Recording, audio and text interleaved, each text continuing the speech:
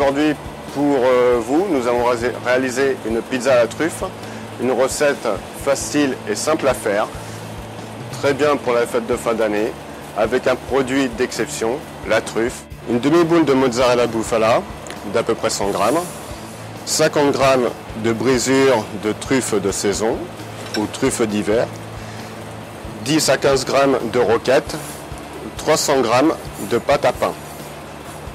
Nous allons commencer par étaler la pâte à pain. La pâte à pain, soit vous pouvez demander à votre boulanger de vous la faire, ou alors la faire vous-même. Donc c'est une pâte qui est assez élastique. Pour la travailler, il ne faut pas avoir peur de bien étaler au rouleau.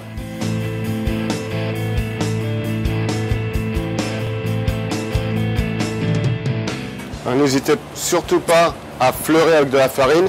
Fleurer, ça veut dire mettre un petit peu de farine sur la pâte pour éviter qu'elle ne colle au rouleau ou au plan de travail.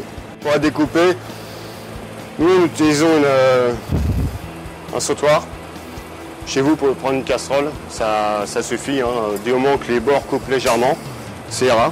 Mais avant de faire cette opération, je vais décoller un petit coup ma pâte et comme vous voyez, elle se rétracte.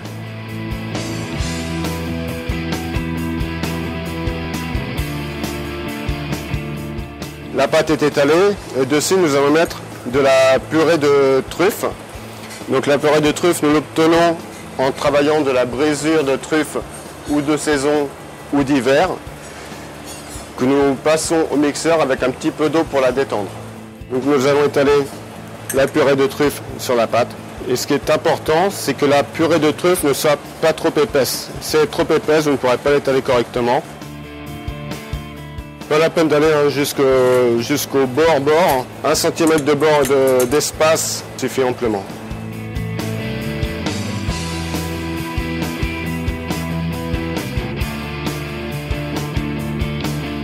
Donc là, notre pizza est pratiquement cuite. Nous allons pouvoir mettre la mozzarella dessus.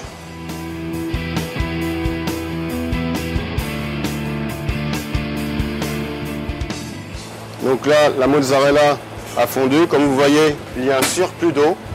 Donc généralement, dans ce cas-là, il vaut mieux l'enlever. Sinon, ça va détremper votre pâte et donc euh, elle ne sera plus croustillante.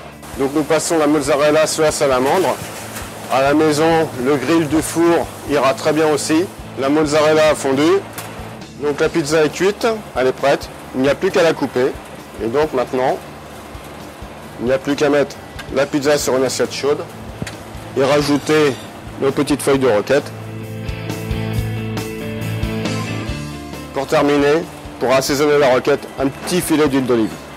Et donc voilà, la pizza à la truffe prête à être mangée.